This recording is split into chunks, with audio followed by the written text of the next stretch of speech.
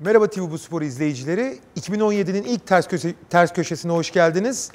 Ee, bugün tekrar 2017'nin ilk e, programında gündemin kısa özetini geçeceğiz. Ama gündemin en önemli maddelerini Uğur Boral, Önder Özen ve Ali Ece ile konuşmaya başlıyoruz. Hemen ilk konumuza geçelim.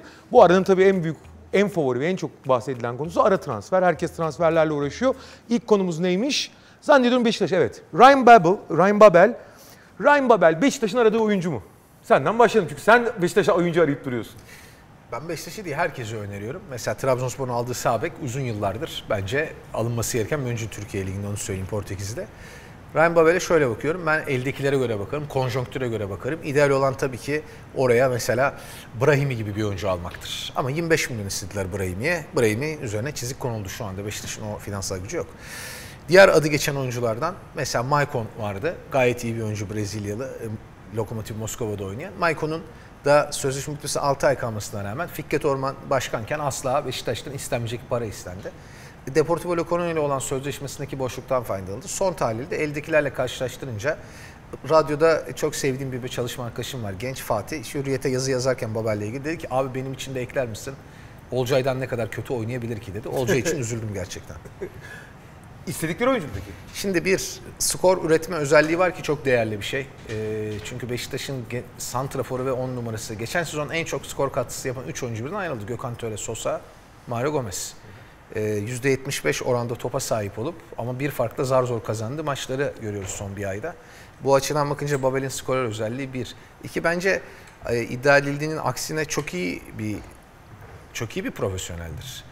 Yani Liverpool'da oynatılmadı. Hoffenheim'a gitmesinin tercih sebebi Hollanda milli takımına dönmekti. Buna ben saygı duydum. Çok daha fazla para veren takımlar vardı. Kasımpaşa'da o dönem e, Kasımpaşa'nın içinde bulunduğu böyle takımın içinde bir kaos vardı yönetimsel açıdan. Ülkenin bulunduğu durumla da alakalı olan. O döneme denk geldi ama Önder Hoca o zaman da onunla çalıştı mesela.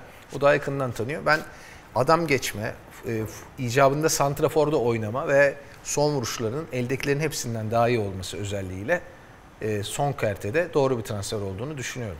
Hocam haklı mı? Sen ee, biliyorsun. Söylediklerin e, tamamına ben de katılıyorum. Yani eğer e, varsa daha iyisi, bütçe bunu el veriyorsa daha iyisi alınabilir. Yani yalnız şimdi ben ilk defa e, soru çok doğru soruldu e, Babel'le alakalı. Şimdi bana e, burada e, e ve diğer e, medya organları da sık sık telefonla soruyorlar. Babel nasıl oyuncu? Ben de söylüyorum. Sonra da insanlar işte Önder Özen Messi tarif ediyor falan e, diyor. Yani tarif ettiğim şey Messi değil. Yani bir söylemediğim şeyler de yazıldı çizildi. Ona da ayrıca bir parantezle üzgün olduğumu söylemeliyim. Ama soru burada doğru soruldu. Ee, Babel Beşiktaş'ın aradığı oyuncu mu? Şimdi beraber gidelim. Bir zihin e, jimnastiği yapalım. O pozisyonda Olcay başladı sezona. Değil mi? Toplamda 7 ee, oyuncu oynadı orada. Ee, Caner, Olcay, sırayla gidelim. Adriano, evet. Talişka, evet. Talişka tam bir merkez oyuncusu evet. solda oynadı. Hı hı. Cenk Tosun, Kerim Fıray evet.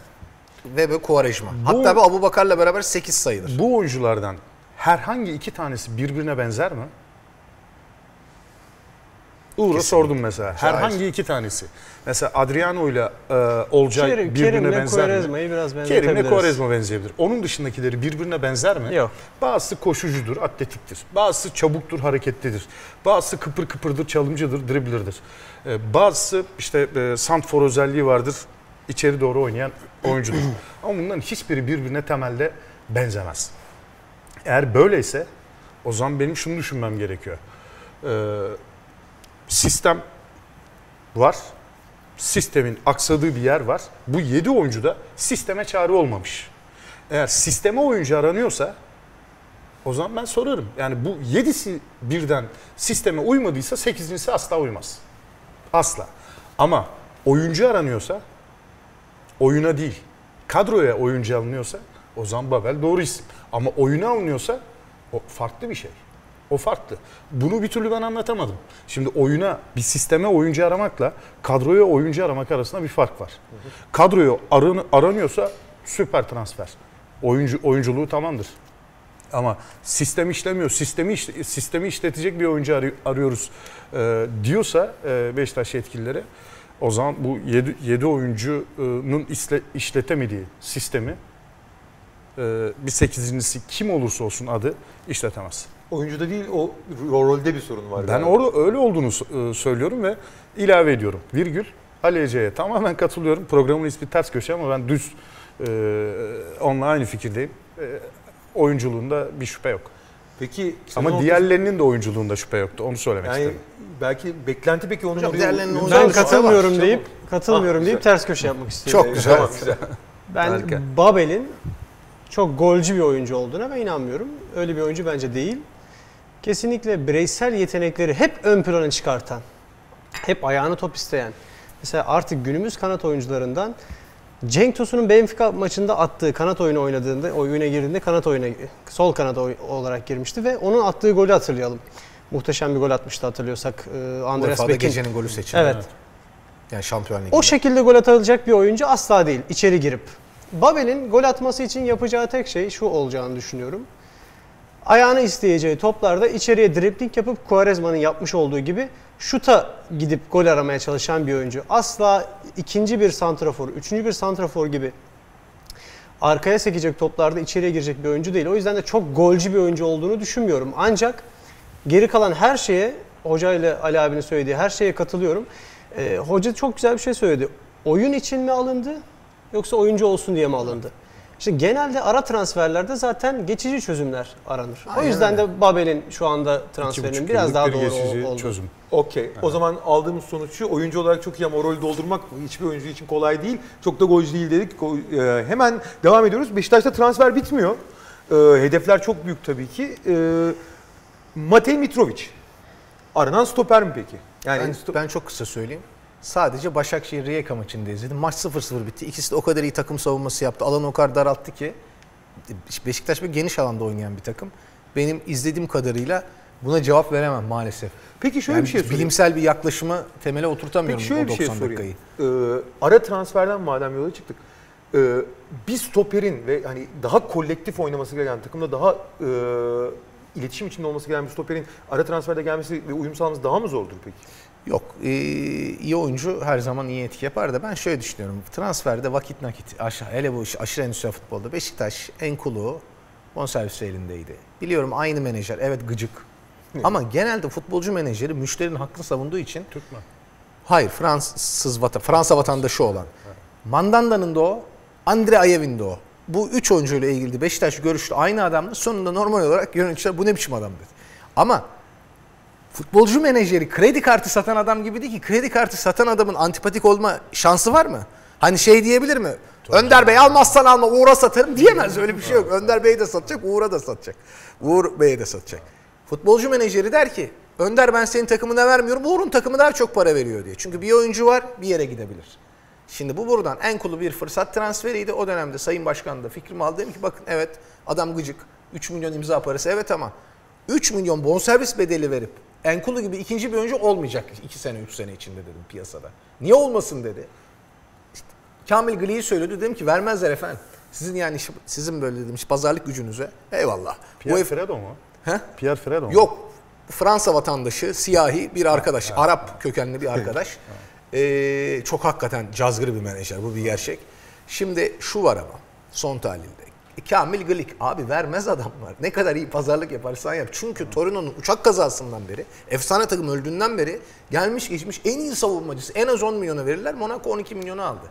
O fırsatı değerlendirme çok önemliydi. Ara transferde 3 milyonsa bütçe daha iyisini alamazsın. Yalnız Milošević transferi de aynı şekildeydi. Bak Milošević'e benzetmiyorum oyuncuyu. Haşa. Kesinlikle öyle bir şey söylemiyorum.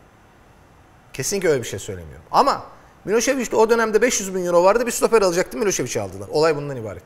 Dani transferi aynı şekilde. O bütçe kiralık gelecekti falan filan. Yani onları söyleyeyim. Şartlar konjonktür. Okey. Oyuncuyla ilgili menajerinin söylediği yeni Igor Tudor. Igor Tudor gelmiş geçmiş en iyi Hırvat stoper. Bilic'ten de iyi, Stimaç'tan da iyi. O kadar 2 iyi. metre miydi ya? Göktuğ? Ya işte Türkiye yalnız Lovren de ilk çıktığı zaman o menajer yeni yeni Tudor demişti. Oradan Her sene çok sinirim bozuluyor. Yani sene yeni "Aa, bir bu Tudor." Lovren gibi olursa bak hakikaten benim tahammülüm yok. Ali Eciş'i de var ya, şu kahveyi başımdan aşağı dökerim. Ece Liverpool'da Lovren, Beşiktaş'ta Lovren kaldırmaz beni. Peki Ben o kahveden korkuyorum. hakikaten ya. yeni yeni yeni Tudor mu biliyoruz ama yeni Mitrovic için Yani e, yeni Tudor e, olmak kolay değil. Tudor da, ben, bana göre yani benim Mitrovic'i tanıdığım kadarıyla Tudor'la e, ikisinin özellikleri biraz daha farklı. Tudor daha hani eski stoperler hani tam tam stoper diye tarif ettiğimiz her şeyi yap işte yüksek top var, markaj var, yakın oyna, Döndürmez. döndürmez falan Alan döver yani marke dövüyordu eder. şey. Çok fizikli. Igor Tudor. Çok Mükemmel. fizikli. Dövüyordu. Bir de Mükemmel bir stoper. top oynamayı da biliyordu. Yani e, zaten top oynamayı bilmeden İtalya liginde oynama Hele şansı o yok. dönem Juventus'un O oynama şansı hiç yok. Abi hiç yok. İtalya'da hala öyledir de. Şimdiki Barzak diye biraz benzetiyorum. Ben de- Tudor'u. ben- o, zaman- ben de o öyle benzetiyorum Tudor'u da. Barzak diye şu anda. Yalnız. Beşiktaş Tudor almıyor. Mitrovic, Mitrovic'e tekrar dönecek olursak. Tudor'u çok izledik, Mitrovic o kadar izleyemedik. Yani. Ya İzlediniz mi şimdi, hocam? e, Ben de çok izlemedim. Ben de e, Rijeka maçında izledim. Fikir vermez o Maç maç. 0-0 yani Hani bir de. hoca şöyle demişti. Çabuk stoper istiyorum diye. E, Şimdi benim aklıma bir gün uçakta geliyoruz. Vaktimiz de kısıtlı. Hemen kestirmeden anlatacağım. Uğur'un benim çok benim sevdiği hocası. sen sana veriyorum. Uğur'un hocam. çok sevdiği hocası Slaven Bilic'le sohbet ediyoruz. ben Yugoslavya neden dağıldı falan filan hani genetik olarak birbirine benzer mi? Bak dedi, ben kestirme anlatıyor. Biz Hırvatlar dedi ağır olur. Bizden dedi sprinter çıkmaz. Sprinterler sırp olur. İşte öyle anlattı. Boşnaklardan çabuk oyuncu çıkabilir. Biz dedi ağırız dedi. Yani uzun falan. O, o şekilde anlattı. Sadece o geldi aklıma bir e, Uğur'u da, görmüşken anlatayım dedim. E madem öyleydi Yani niye? çabuk- hoca çabuk istedi ya şey. e, şey Hoca çabuk istedi ondan. yanlış ülkeye bakmış o zaman. Ya açıkçası net bir şey söylemek gerekirse birkaç maç görmek lazım. Yani Birkaç maç değil 10 maç oynamak yani lazım. evet hani hazırlık maçları bile aslında asıl doneyi vermez bu oyuncuyla alakalı. Çünkü Hatta Beşiktaş'ın sisteminde da lazım. e tabii kesinlikle. Abi geniş alanda Tosic- oynayabilecek mi? Sol stoper oynayabilir mi? Bunlar çok önemli. Tosic'i bile yere göğe sığdıramayı bir iddialı- yere iddialı, e, gömdü, var. gömdüğümüz çok Doğru. gömdüğümüz çok zaman oldu. Görmek lazım. Peki be, izleyeceğiz diyoruz. Buradan başka bir konuya geçiyoruz. Bunu direkt Uğur'a önce soracağım. Ee, Oğuzhan Özyakup konusu. Son dönemde Penaltıcı olduğu geldi. için ondan mı? Yok hayır yani e, saha içinden bir e, daha yakın tarihte saha içinde olduğu için. Penaltıyı takımın bir pe- net penaltısı mı atmalı yoksa o anda kendini çok iyi hisseden Yani ben bunu çok acı tecrübe ettiğim için bence penaltıcısı Beraber etmişiz Evet beraber ettik. evet yani bence de penaltıcısının atması. Ya o penaltıcı da o, oyun kaçırabilir. Ama genelde oyuncular içerideyken e, sonuçta herkes birbiriyle çok iyi arkadaş takımda. Kardeş gibi oluyorsun. Hani eşinden oradan buradan çok gördüğün adamlar bunlar. Ya bu penaltıyı ben kullanmak istiyorum. Kendime güveniyorum. Ya tabii ki gelip Lugano penaltı istese "E, git buradan dersin. Bak bir Ama şimdi en sevdiğin Alex'ten Emre en sevdiğin kardeşin istedi bir defa hatırlıyor musun? Alex'ten şimdi Emre Belözoğlu penaltıyı ben kullanayım derse ona verir. Veya David istese ona verir. Şimdi Kezman o gün takımın santroforu ona verebilir. Ama buna dışarıdan müdahale gelirse ancak Alex orada tu- penaltıyı vermeyebilir. Ya burada Oğuzhan'ın penaltı kullanmasıyla alakalı şimdi Oğuzhan geçen senenin penaltıcısı. O, o günde kendini iyi oynamış bir o- o- oyu- oyunu iyi oynamış o ma- maçla alakalı ve onu da taşlandırmak istiyor. Golü de atacağına inandığı için hani isteyince de Cenkon'a vermiş olabilir.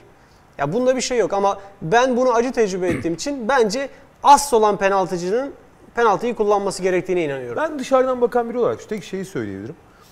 Maç içinde sporcular, yani bu basketbol diğer sporlar için de geçerli. Gerçekten iyi oynadıkları zaman doğal olarak ço- çoğunlukla iyi niyetle, kötü niyetle de yani daha bencil niyetlerde olamıyor. Çoğunlukla iyi niyetle kendini çok hissettiği için atmak isteyebilir. Fakat oyuncuların o anki adrenalin durumu ve heyecan durumuyla bence bir kontrol altına alınması gerektiğine inanıyorum. Yani penaltıcı çok sabit olmalı. Ha antrenör o sırada müdahale edip ya da e, bir doğru bir iletişimle belki bir şey değiştirir ama ben penaltıcının veya işte mesela basketbolda da bunun karşılığı teknik foul oluyor. Onun hani çok sabit olması gerektiğine inananlardanım. Ha belki o, takımın penaltısı ama kendi ya ben çok iyi hissetmiyorum de, derse Bir de öyle bırakabilir ama. biliyorsun. Tabii. Ha, buyurun.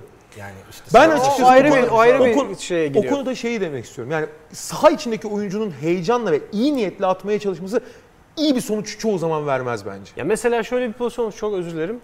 Ee, takımın penaltıcısı aksiyona girmiş, boğuşmuş, çıkmış, düşmüş tak diye penaltıyla onu düşürmüşler.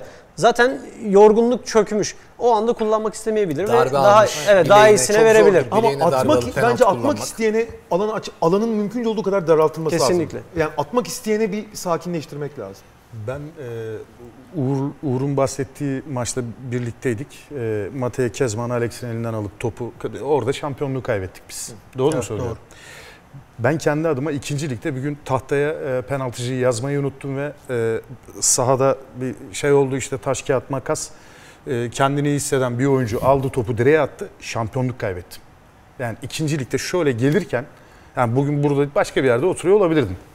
Ama o orada büyük bir kırılma yaşadım. O yüzden penaltı konusu e, acı çeke çeke öğrenmiş birisi olarak söylüyorum. Penaltıcı fikstir. Yani korner, free kick bunları 2-3 tane opsiyon seçebilir antrenör. Kendimi çok iyi hissediyorum vurayım diyebilir oyuncu ama penaltıda e, patron tahtaya yazılan oyuncu kimse olur. Ve her kendini iyi hisseden oraya giderse o gün mesela e, bir Beşiktaş e, Adana Demirspor maçı 10-0 bitti. Penaltı olsa herkes topa koşacak belki.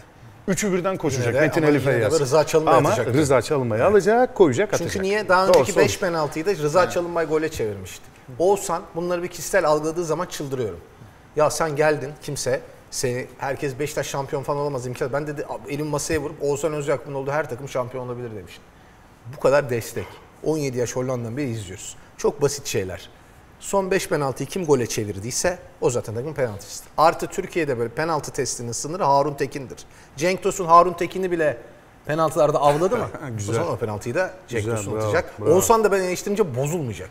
Okey abiciğim. Hemen buradan devam ediyoruz. Ee, Galatasaray'da geçtiğimiz hafta hani sürpriz mi deriz belki de hani çok beklenmedik bir şekilde Yasin Öztekin aniden kadro dışı e, kad- aniden tabii değil ama kadro dışı bırakılma kararı alındı. Doğru bir karar mı hocam? Bence yanlış. Bence yanlış kesinlikle. Kestirmeden.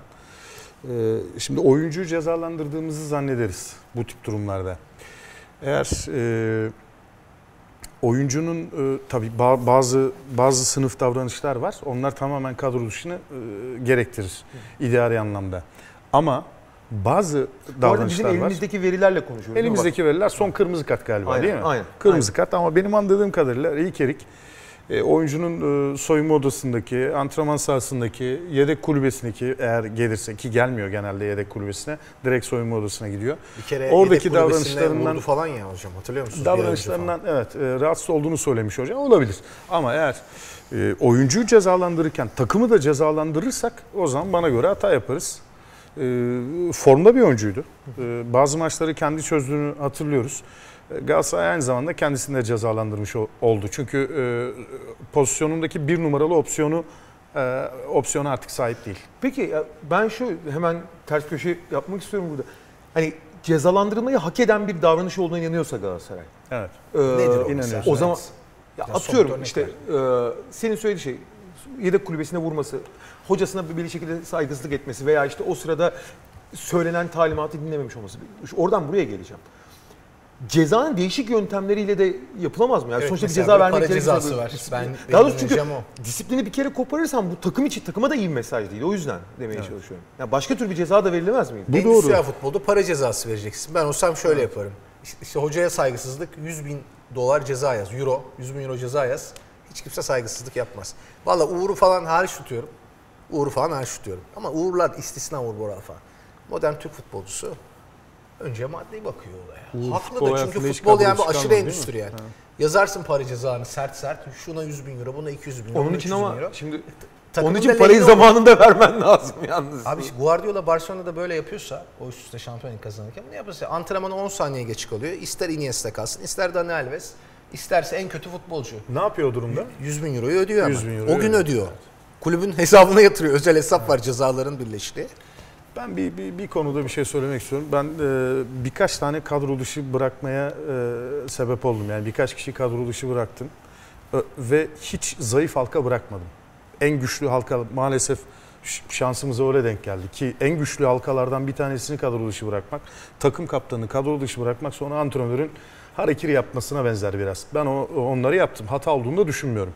Pasif direnişe ben %100 kadro dışı e, bırakılma cezası verilmesi gerektiğini düşünüyorum. Hocam ben son konuda hiç ayrı- katılmıyorum. pasif direniş ayrı bir durumdur. Pasif direniş e, e, antrenöre değil. Ben bana yapılan hataların hiçbir tanesine e, kadrosu bırakmadım. Ama takım arkadaşına, kulübe yapılan hatalara da affedici olmadım. Hocam ben o, konuda konuda kat- katıyım. tam tersinizi düşünüyorum yüzde yüz. Belki hayatta yüzde yüz ters düşündüm sizle ilk konu diyebilirim. Programı yaptıkça daha olacak. bu. Olacaktır tabii Kesinlikle ki. para cezası. Türk futbolcusunu para cezasından daha iyi terbiye eden hiçbir şey yok. O doğru. Hiçbir şey yok. O çok doğru. Bir, bir küçük hikaye. Bağır, Bir gün çağır, hakaret et hiç etkilenmez. tane dünya Para cezası kupası- verdi mi mum olur. Dört ayrı Dünya Kupası Gömme finallerinde bu. oynamış bir NBA'de bu oyuncu arada öyle. bana Tabii. şunu söyledi. Bak hocam dedi bu kulüpte beni parayla terbiye etmeye çalışıyorlar. Ben dört Dünya Kupası finallerinde oynadım. E, Çok haklı. Çok haklı. O. Ama bir başkası da pasif direniş yapıyordu. Tam da hocam O- Yasin o- oynamadı işte. Sorunu o zaten Ee, Yasin. Yasin iki Dortmund pasif- altyapısından şimdi kadro dışı. Demek ki profesyonel olarak bir şeyleri yanlış yaptığına göre onu böyle profesyonelleştirecek bir Yasin ceza 2, uygulayacaksın. Yasin 2 %100 para cezası olmalıydı. Ben Kesinlikle. öyle söylüyorum. Ağır ama. Benim benim e, hikayemde Sorun bunun o şey, farklıydı biraz. parayı zamanında vermezsen para cezasının pek anlamı kalmıyor. Öyle bir durum var yani. Maaştan kesersin, borçtan kesersin. İşte zaten almıyor ki maaşı kaç aydır oyuncuların çoğu. Ya, Melo Riera'nın ağzını gözünü patlattı.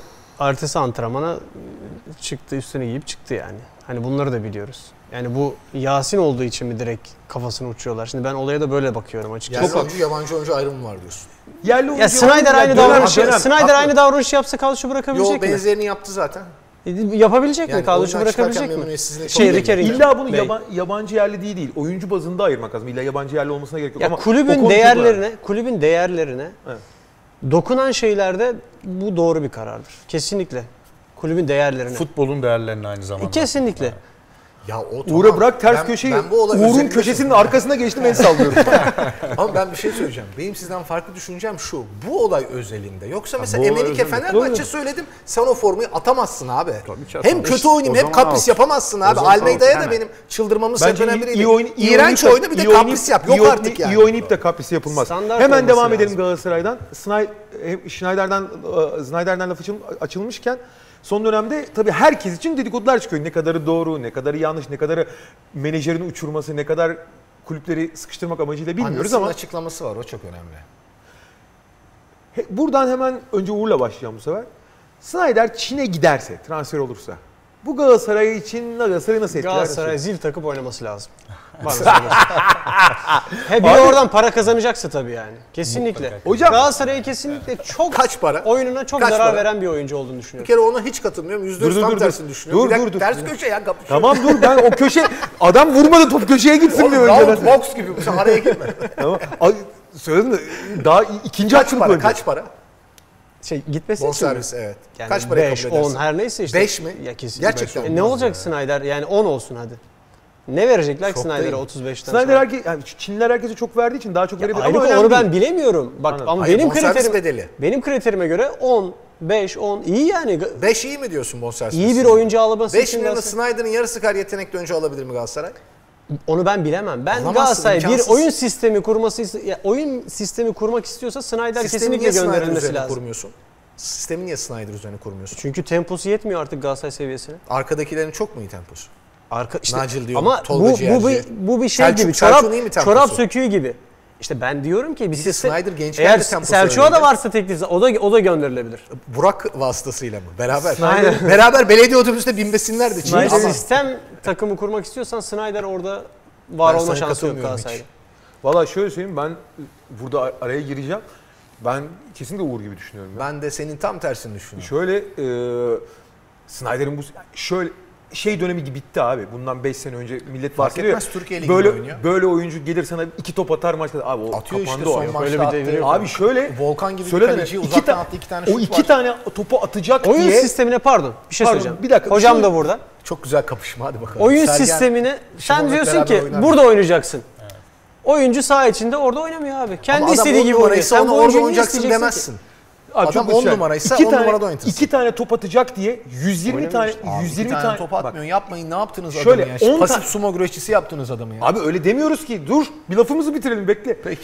Abi 3 tane çok kritik top atıp oyunun kaderini değiştirecek diye beklerken 120 tane topu optimum kullanmıyorsa bunu orta dö- dökümünü yapar dersin ki abicim bu 120 topu daha optimum kullanırsan bu 3 toptan yani onun yarattığı 3 pozisyondan daha iyisini Bu yaratırsın. formül haklısın Kaan'cığım ama NBA gibi en üst düzey ligler için geçerli. Bizimki en üst düzey lig falan değil. 6. 7. anca çıkar. Kalite olarak Avrupa'da. Abi şöyle lig kalitesi Harcanan para olarak değil, lig Ama kalitesi sen, olarak. Sen- sen lig rakibin üzerine kaybetmeyerek çıkarsan- devam eden rakiplerinin karşısında şampiyon olamadığın zaman zaten başarısızsın ki. o zaman teknik bir görüş alalım. Ee, ben de eğer bonservis bedeli olarak uygun bir rakam verirlerse Kaç para? behemahal, Kaç derhal para? 20 milyon. mu? 4, 5, 20 bu Hocam rakamlara 5 az değil mi? Hocam Snyder? abi sen 20 milyon ne diyorsun? 20 milyon Abi nereden fiyatı geçtik. söylemek Fiyatı istiyorum. geçtik. Soruya dönelim. Şu- E, kritik so- nokta o. e, Oraya döndü çünkü hikaye. Ben veririm. Sebebi şu. Ee, bir daha paraya çevirme şansı yok bir. Bu son yani köprüden önce son çıkış için. 14 Ee, yıllık 14 yıllık araba diyorsun abi. Sattın sattın yoksa son, çıkacak. son sahibi Koskoca olmak istemezsiniz. Eyvallah. Yatırım yaptığınız oyuncunun son sahibi olmak istemezsiniz. İkincisi orada bir backup var. Josue, e, Josue ismi. Hiç kullanılmamış. Ben e, aç artık topu çimi ısıracak, yiyecek, e, yutacak bir Josue'nin ikinci devre boyunca e, Snyder'den daha faydalı olacağını düşünüyorum. 3. Snyder kafasında e, artık şu noktaya gelmiş. E, Snyder eşit, küçük eşit veya büyük eşit Galatasaray. O noktaya gelmiş. Yani o Uğur Boral'ın söylediği biraz e, onun Türkçe e, biraz çeviriyoruz. E, antrenör ona sen şurada oynayacaksın diyor. O bu ısrarla burada ısrar ediyor. Ya bir sen bir defa da antrenörün söylediğini dene. Yani bütün takımın sistemini aslında e, bozan bir oyuncu. Bakın oyunculuğuna çok büyük saygım var. Çok büyük saygım var. Hepimizin var canım. Ama mutlak otorite sahibi olmayan bir teknik adamla Galatasaray'a daha fazlasını veremez. O zaman mutlak Yani, otoritesi e, olan bir teknik adam. Mesela Louis Van Gaal nerede derse orada oynuyordu Snyder. Son yaptığı O açıklamalar zaman çok da güzel. abi. O, zamandı. E Şimdi getirirsen Louis Van Gaal'in teknik direktörlük kalitesi Türkiye'deki antrenörlerin gerisinde Şu mi anda yani? temposu yetmediği için kendini Van Hal o yettirir. karmaşadan karmaşadan Van sonra Hal yettirir bir şekilde. zaten. Van Hal bir şekilde yettirir. Ba- Rikenik geçti- altyapıya getirilen hoca A takımda yani kalacak. bir gidecek. hikaye Çok ilerledi abi. Yaşı çok ilerledi. Ne kadar çok ilerledi ya. Yani En azından Snyder'e hoca mı arayacağız şimdi yaşı abi? Böyle bir şey olur mu? Abi takımı sen bu. altyapı hocası olarak getirdin. Nasıl A takımı Hayır hocası yani yaparsın? senin söylediğinle yola çıkıyorum. İşte Snyder'e hoca mı bu arayıp bulacağız şimdi? Ben Snyder'ı teknik üç- direktör üç futbolcu kişi, yaparım. Üçe bir kaldım bu tutarım. köşede abi. Fark etmez. Söyleyeyim. Eyvallah. Yalnız Devam edelim. Burada yok şeyler, e, bonservis bedelleri demişken işte 5'i Beş milyon bir beğenmiyorsun. kere çok ben, çok, yani. çok daha güzel bir konuya geliyoruz. Snyder 20 milyona satarsın Çin'e en az. Be- Bedel biçmek. Ya Çin çok para veriyor. Bedel biçme konusuna geldiğim zaman son dönemin en kritik konularından biri. Ahmet Çalık için belirlenen ve iddia edilen bonservis bedelleri. Gerçekçi mi abi? Tek kelimeyle saçmalık. Ne kadarmış? 5 milyon, 4 milyon euro, 5 milyon euro. Tek kelimeyle saçmalık. Çocuğa Hele euro bu kadar artmış ki. saçmalık. İyi niyetli, çalışkan, kendini geliştirmeye çalışan ancak Galatasaray'ın Peki Galatasaray- eksikleri olan bir oyuncu. Bu e, bonservis tartışması benim dışarıdan takip ettiğim kadarıyla. Türkiye'deki yerli stoper yetenek ortalamasının üstünde. Bu Ahmet Çalık'ın sorunu değil. Türkiye'deki yerli stoperlerin sorunu yetenek ortalamalarının çok düşük olmasıdır. Milli takımda hala Mehmet Topal falan oynatılıyorsa bu onun da biraz yansımasıdır. Abi Fatih da sorudan uzaklaşmayalım diye söylüyorum. Uzaklaşmıyorum. Saçmalık o bonservis bedeli. Ama Gerçekçi değil, saçmalık. Senin söylediğini toplarsak şöyle Türkiye'deki ortalamanın üzerindeyse ve Türkiye'deki ortalama stoper 2 alıyorsa onun 4 alması mantıklı olur. İyi de Hak Türk ettiği vatandaşı almak zorunda değilsin ki. Ya da böyle işte tamam. mesela Serdar Taşçı öyle, daha önce Türkiye. Ligi'nde oynamıştır falan. Peki, Dışı alabilirsin. Şöyle söyleyeyim. Oradan bir de şu noktaya geleceğim. Ahmet Çalık için başka takımlara bahsedilen bonservis bedeli, Galatasaray'la bahse- bahsedilen bonservis bedeli arasında %300'e varan farklar olduğunu İlhan. Cavcav'ın klasik numarası 1990 yılından beri Ankara'dan sattığı stoper sayısının İstanbul'a haddi hesabı yoktur. Bir otobüs olmuştur Bak, herhalde değil Peki mi? atıyorum. Saymaya başlasak programın süresi yetmez. Ümit Özat, Ali Eren, Tolga Doğantes. Tamam. Say say bitmez yani. İbrahim, Hakikaten. İsmail İbrahim, Güren, evet. Büyük, takımın büyük e, mali gücü olan takıma biraz daha fazla fiyat verilmesi doğal ama bir takıma 1 milyon euro, bir takıma Emrah 5 milyon euro diyorsun bu tuhaf nereye değil mi? bugün? Emrah Başsan bugün nereye gitti biliyor musun? Fortuna takımına kiralık olarak gitti. Hollanda'daki Fortuna'ya. Fortuna Sidar'da. Ya o parayı verip Fortuna Sidar'da oynayacak seviyede oyuncu alıyorsun. Osmanlı Spor şeyi kaça aldı acaba? Daha Osmanlı Spor'un önce Samsun Spor. O şahane açık oyuncusunu Nijeryalı'yı kaça aldı? 20 yaş altında Türkiye'ye gelmişti Buruma ile beraber. Umar. Umar, Umar Amino. Amino. Kaça aldı? Kaça? 500 bin euro, 700 bin euro. Sen o zaman kulüpte abi bu kadar hatalı transferler olmaz. Olmaz. Sen Serdar Aziz'i almışsın sakatlık sorunu olduğunu bile bile. Serdar Aziz'e de yazık, Galatasaray'a da yazık, Galatasaray tarafına yazık, teknik direktöre de yazık. Sen artık orada ya sen modelin belli. Semih'le oynamaya devam edeceksen yanına bir ufoloji alacaksın. Yoksa Semih aynı işte kriptonite alınmış o işte Superman gibi Clark Kent hali gibi. Al bir ufoloji.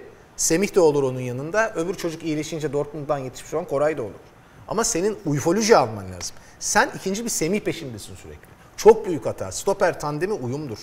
İki Uçe Tamam. o kadar iyi olmaz. İki Biz- Hök o kadar iyi olmaz. İki Konuyu- Popescu hiç olmaz. Abi iki biz- Bülent hiç olmaz. Olabilir. Biz bir hangi Bülent stoperi aradığımızdan bahsetmiyoruz. Semih. Bu, bu- tamam kesin. Saçmalık işte. Bonservis bedeli mantıklı mı?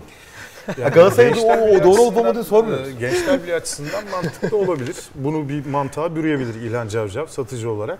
Ama Galatasaray alıcıysa 5 milyon euro verip alacaksa Şöyle ben sorayım hocam. doğru bulmam. Türkiye- yani bu Türkiye'deki e, transfer Türkiye'deki transferdeki dengesizlikleri bir kenara bırak- bırakırsak Türkiye'deki şu anki normlar açısından bu rakam abartılı mı peki? Tabii ki abartılı. Yani şu bu rakam abartılı değil.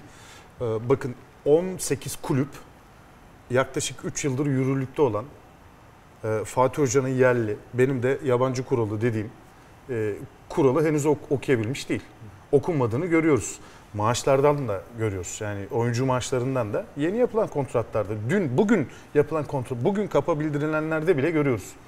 E, demek ki öyle olmuyormuş. Demek ki işte yabancıyı serbest bıraktım. e, şeyler düşecek değilmiş.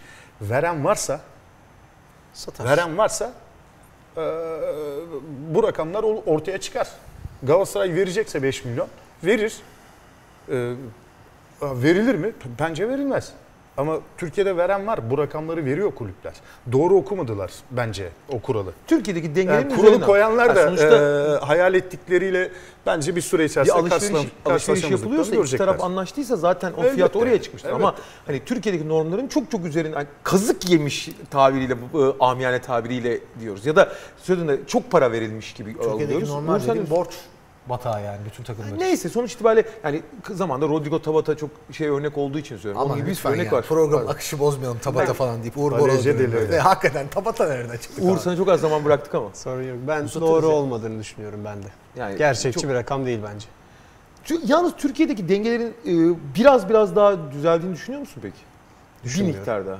Düşünmüyorum. Bir tek Beşiktaş'ta ve Fenerbahçe'de düzeldi Ama diyebiliriz. Şöyle Beşiktaş Osman Spor var. Başakşehir'in hep düzgün herkes zaten. Abdullah sonuçta bunlar için. baremdir abicim. Bazı oyunculara işte 5 milyon olduğu zaman bugün dönüp dolaşıp Azia Promise'yi alıyorlar. Hayır, Çıldırmamak Ahmet Çalık değil. 5 Başka milyon euro ise öbürü de bilmiyorlar 6 hiç yani. isteyecek. Ama Ahmet, zamanında diğer fiyatlar düşerse otomatikman baremler de Berlin'de düşüyor. de- Beş Menajeri milyon iyidir. Etmeyen, o bak Kestik. Berlin'de 5 Ben milyon etmeyen oyuncu İstanbul'da 5 milyon edemez. bu arada. Fenerbahçe'de boş durmadı ve Alexander Karavayev ben hiç bilgim sahibi olmadığım Ben için izledim 2.90 dakika. Gidip de yerinde izledim. Yani gayet, gayet iyi bir oyuncu. Hem böyle disiplinli, taktiksel açıdan. Hem böyle bazı yetenekleri var dar alanda. Hızlı oyun, kontratak oyunda etkili. Yalnız bir sorun var. Zorya'da benim izlediğim iki maçta da daha sonra e, baktım diğer bütün oynadığı maçlarda da Fenerbahçe'nin bu sezonki en iyi performans sergilenen oyuncusu Jermaine Lans'la aynı mevkide oynuyor. Orta sahanın sağında. Sağ açık, sağ forvet oynuyor. Sorun bu bence. E, abi o zaman ciddi bir sorun yok mu Yani bence? şimdi şöyle düşünüyor olabilir. Lans'ın çok Advokat ben bunu sağ bek oynatabilirim. Van der Fiel bir şey olursa. İşte Lans'ın sakatlıkları onu oynatabilirim. Olabilir öyle alternatif. Orta sahanın ortasında da oynayabilme özelliği olduğunu söylediler. Ben hep sağ açık gördüm Zorya Fenerbahçe iki maçta da. İşte Dinamo Kiev Zorya maçını da izledim. Beşiktaş'la e, Fenerbahçe'nin iki rakibi karşılaşıyor diye. Orada da sağ açık oynadı. Hocam farklı bir yerde oynadı mı hiç? Bizim o izlediğimiz maçlarda e, sağ önde kullanıldı ama ben Fenerbahçe'nin doğru bir transfer yaptığını düşünüyorum. Aslında bir taşla iki kuş. E, hem Şener'e backup e, Van der Wiel'in yokluğunda hem e, Jermaine Lens için de e, bir backup'tır. E, doğru e, bir transfer olduğunu düşünüyorum bu sebeple. Teknik anlamda idari olarak, e, mali olarak bakacak olursak da eğer e, yazılan rakamlar doğruysa bana göre şahane bir transfer canım, operasyonu. o bir kere çok iyi. Ukrayna'daki Şahane maaş bir- farkı göre o adam için de çok iyi. Gelen oyuncu için de. Tabii. Ama Türkiye'de de. Demin o yüzden bitirirken Başakşehir, Osmanspor, Beşiktaş ve Fenerbahçe yönetimleri yeni kuralı anlayıp ders aldı, düzeltiyor. Fenerbahçe'nin bu transferi öyle. Ya abi Emenike'yi de sağ açık diye almıştım. Ben, Ödenen ben para. biraz Bonservis bedeli. 18 takımın içerisinde kuralı anlayan hiçbir kulüp olduğunu düşünmüyorum. O- Bence bu dördünün bazı yöneticileri anladılar. Ben en çok da bu dördünün anlamadığını düşünüyorum. Fenerbahçe ile Anladıklarını Beşiktaş'ın düşünüyorum ama Evet. yine de kendi Evet, Kendilerine doğru okumadığını Galatasaray düşünüyorum. yöneticileri özellikle başkanı hiçbir şekilde anlamamış. Haberleri yok. gibi eminim. Ee, yani Dursun Özbek'in kuraldan haberi de yok. Kesin yani Fenerbahçe'nin Beşiktaş'ın haberi var ama doğru okuduklarını düşünmüyorum. Bu tamamen Maalesef bir, haberi yok e, bir- Dursun Bey'in. sadece eleştiri değil. Yani benim bakış açısıyla alakalı bir şey. Benim de kurala bir bakışım var. Kuralın getirileri ve götürülerine dair bir fikrim var. Yanılıyor olabilirim. Fatih Hoca'nın da bir fikri var. Mutlaka Fenerbahçe ve Beşiktaş'ın kurmaylarının bu konuda e, çalışan profesyonellerinin veya yöneticilerinin bir fikri var. Galatasaray Aynı pek yok galiba Hiçbiriyle aynı fikirde değilim. Onu söylemeye çalıştım sadece. Ha ben de onlarla aynı fikirde değilim. Ben göreci olarak Yıldırım Demirören başkan zamanı, Fikret Orman başkan zamanı. Aziz o- Yıldırım'ın ta- tabii 2-3 canım sene yani önceki öyle- yönetimi öyle şimdiki yönetimi. Kalite farkı var transferde. Uğur sen ne diyorsun? Ben de doğru bir transfer olduğunu düşünüyorum açıkçası. Çünkü Van der Wiel'in artık e, kulüple ilişkisinin kesileceğini düşündüğüm için e, Şener'e Bir alternatif olabilir tabii mi? Şener'e daha çok bence Şener'e alternatif olarak alınan bir oyuncu. Ben öyle olduğunu düşünüyorum.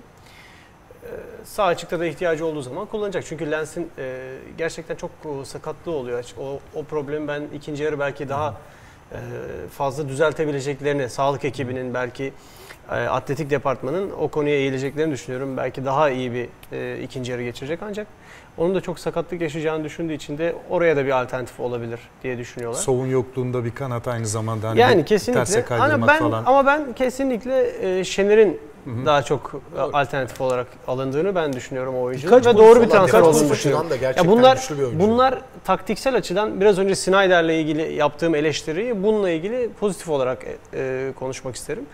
Bu tarz oyuncular her zaman sisteme bağlı olan ve hocaların hep isteyeceği tarzda oyuncular bunlardır. Kurmalı Christian gibi, kurmalı gibi kurarsın, bunu koyarsın, hoca ne derse onu Karembe yapar. E. Christian Karembö, Peki Daniel Panko. biraz tabii Aynen öyle. ben bu transfer döneminde tabii e, taraftar ısrarla hani takımı bir kademe daha yukarı çıkaracak. Takımdaki eksikleri her şeyi dolduracak oyuncu bekliyor. Fenerbahçe de çok uzun süre ben Afra beklenirken hani bir anda biraz e, alt yani bir seviye alt oyuncu gelmiş gibi çünkü hani takımı taşıyacak gibi bir oyuncu değil. Ama benim anladığım kadarıyla ben bildiğim için söylemiyorum ama anladığım kadarıyla birkaç pozisyonda alternatif olabilecek ve e, bunların hepsi de e, direkt oynadığı yerde herhangi bir şekilde sırıtmayacak. Ta- tam tersine çok net doldurabilecek. Böylece herhangi bir talihsizlik veya herhangi bir formsuzluk durumunda çok iyi bir emniyet sübabı gibi alındı herhalde. Diye Ya zaten Türkiye'de artık şunun e, Yani taraftar da takımı bunun bilincine taşıyacak varması değil, takımın herhangi bir şekilde batmasını engelleyecek bir parça parçası olabilecek de- değerli oyuncular Taraftarın gözüne taraftarın gözünü boyamak için yapılan transferlerin hepsi şu anda Türkiye futbolunu oluşturuyor işte şu andaki durumunu oluşturmuş durumda. Herkesin borç batağından buraya kadar dayanmış. O yüzden hani bu tarz oyuncuları önce bir görelim. Bir faydasını görsün taraftar da zaten beğenecektir. Ya tabii oyuncunun bu- buraya alışıp uyum sağlamasıyla da alakalı bir şey ayrı konu ama ben bu tarz oyuncuların fayda sağlayabileceğini düşünüyorum. Taraftarın da bir şekilde bu tarz oyuncuları iyi oynadığını görünce daha bilinçli hale geleceğini ben düşünüyorum. Süper. Ee, tra- ara transfer demişken herhalde ara transfere en fazla ihtiyacı olan takım yani son dönemde gerçekten çok zor günler yaşıyoruz. Yeni stat, yeni stat falan derken bir yeni heyecan varken iki tane transfer de Trabzonspor'dan geldi. Ben hemen ismini kontrol Sağ bek etmem lazım. Pereira, sol Pereira bek ile Mas. Tamam Bana iyi söyleyin, bilmediğim için benim sen adamlarım söyle. her gittiğim takımda onları böyle transfer ederim. Genelde orta bütçeli takım çalıştırdığım için oyunlarda. O zaman doğru olduğunu düşünüyorsun. En azından o, oyunla bilmiyorum. Gerçek hayata yansıyacak Gerçek mı? hayatı su. Gerçek hayatta beğendiğim için oyunda alıyorum. Biri Arjantin takımının sol bek oynadı. Evet doğru Arjantin'in sol bekleri dünyanın en iyi sol bekleri değil. Eyvallah ama kim oynadı Trabzonspor'da sol bek bu sezon? Mustafa Akbaş. Mustafa'ya sorsak abi benim yerim orası değil der. Bir. Mas en azından sol bek. Evet en iyi döneminde gelmiyor olsun. Ee, bir sol bek olacak. İbanez dersen İbanez diye sol bek olmaz. İbanez, Gibson, Fender öyle yani. Abi Kızıldız'da asist yaptı diye Gitar mı o bir adam? O zaman Partizan'dan Saşa içi geri alın Galatasaray'a. Ve asist olup yağıyor. Kaç? 39 yaşına falan geldi.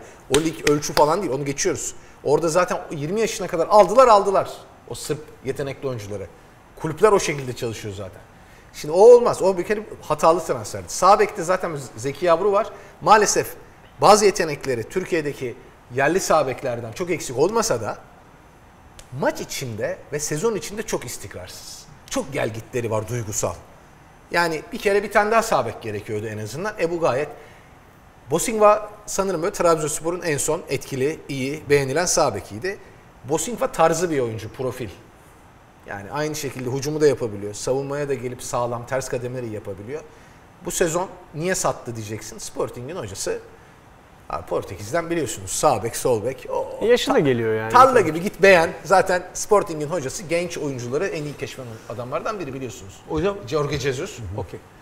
Benim anladığım kadarıyla ben hani çok uzak biraz uzak olduğum için e, bu sezon çok iyi e, zor günler geçiren Trabzonspor için bu transferler biraz e, bir en azından sakinleşmeyi, belli bir dengeyi sağlayacak gibi. Gerçekten katkı verecek mi? E, verebilirler yani her ikisi de değerli oyuncular. Ben Mas'ı San Lorenzo'dan e, geçtiğimiz sezon e, 7-8 maçta orada merak ettiğimiz başka bir oyuncu sebebiyle seyretmiştim. Ben oyuncuyu beğeniyorum ama Arjantinli oyuncuların ad- adaptasyon konusunda e, sıkıntı yaşamaları muhtemel. Eğer öyle bir Belki böyle e, sorun gibi olur. E, sorun yaşamazsa e, ben onun çok faydalı olacağını düşünüyorum. Bir de doğru bir zamanda alınmış bir oyuncu. E, ama Pereira için aynı şeyi söyleyemem.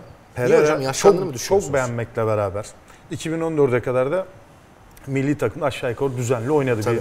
Bir 4-5 sene düzenli oynadı. Ama ben onun düşüşte ve düşüşün dibindeyken yakalandığını En kötü zamanı mı sizce? Aşağı yukarı en kötü zamanında alındı. Bir daha çıkma ihtimali. E, çıkma ihtimali ben e, görmüyorum sanki böyle ama, Bosilva da gelmeden ama önce sağ bekliği e, be- e, ama Bosilva daha atletik oyuncu. Bundan çok eyvallah, daha tabii çabuk. daha atletik. Yani Bosilva bildiğin Ama bu da daha bebek. güçlü. E, Ama bu da daha bu, güçlü Bu daha güçlü. Zaten beni korkutan o. Güçlü olması. E, güçlü oyuncular daha çabuk ağır vasıtaya doğru gidiyorlar. E, bir tek orada endişem var. Yoksa oyunculuğu tamamdır. Yani background'una baktığın zaman tamamdır ama Bonse, Valencia dönemi mesela uçtuğu dönem e, harikulade bir dönem geçirdi. Ama Valencia'dan sonra ben sürekli düşüşte gördüm ve paraşütsüz. Yani sürekli düşüş içerisindeydi. Benfica'da da Sporting'de de e, bana göre düşüşteydi. Yalnız arada çok bir tabir kullandı. Paraşütsüz dedi abi. Paraşütsüz. Yani ağır konuştun hocam ya. Uğur sen Meteor, düşüşte meteor düşüşü bu yani. hocam. Meteor öyle çok hızlı Ha, düşer Meteorik. çok, çok ama bir Ama bir ihtiyacı var ihtiyacı, yani. bir toparlanmaya. ya bu işte biraz önce ihtiyacı senin söylediğin şey önemliydi burada. Bence biraz da o yüzden de yapılmış bir transfer olabilir. Ya Pereira olmaz demedim. Çok özür dilerim. Olmaz demiyorum. Endişelerim var Peki dedim takımı sadece. toparlayabil yani şu, şu anda gerçekten işler iyi gitmediği için takımı toparlayabilecek bir etki yaratır mı? Bir yabancı oyuncunun böyle bir toparlayıcı etkisi yapması kolay değildir ama belki Bir de yapabilir bir mi? stoper gerek Duris Ya çok tecrübeli bir oyuncu. Zaten izlediğimiz dönemde yani iyi olduğu dönemde zaten Türkiye'ye gelme ihtimali olmayan bir Ama oyuncuydu. paraşütsüz dedi unutma. Evet şu anda paraşütsüz içi. düş- Ama hocam çok yüksek seviyeden Ama düşüyor. Yani böyle kötü bir seviye değil ki. Abi pardon da Va- Valencia'da şöyle söyleyeyim. Hatırlıyor musun? İsterse Uçtuğu dönemi mükemmel. hatırlıyor? İsterse-. Muhteşem bir oyuncu. bir saniye Çok isterse. Dani Alves seviyesinde olsun bir zamanlar. Ö- Düşüşte demedi hocam. Ben Paraşütsüz dedi abi. Güzel tabii. Buna şey yani düşmüyor direkt yere doğru roketlemiş benim anladığım Meteor kadarıyla. Ama paraşüt açık bu arada yani. yavaş yavaş gidiyor. Aa, pa- paraşüt kapalı düzeltiyor. Yani yaşı da gelmekle beraber çok dinamik bir oyuncuydu. Çok çok üst düzey bir oyuncuydu. Ee, tabii her zaman olduğu gibi Türkiye'ye gene son zamanlarında geldi. Ben ancak e, hocamın söylediğine katılmakla beraber Türkiye Ligi'nin kalitesiyle doğru orantılı bu, bu oyuncuların e, iş yapabileceğini ben bizde de düşünüyorum. hocam bizde bir tempo düşük ortalama. Evet. O yüzden o hız Ya iş- kaybı çok o etkilemeyecek. kalitesiyle, tecrübesiyle ben iş yapabileceğini t- e, Trabzon'da düşünüyorum Tecrübe açıkçası. tarafı belki Yani iyi ilk yarısından daha iyi bir Trabzon izleyebiliriz. Ben öyle düşünüyorum. Abi ilk yarıdan daha kötüsünü zaten inşallah izlemeyiz Aman, yani. aman. Hani Aman. Hem Trabzon dönemi vardı daha hem. Trabzonlular için hem Türkiye Ligi için Aman daha iyisini izlemek Peki yeri gelmişken hocam size bak.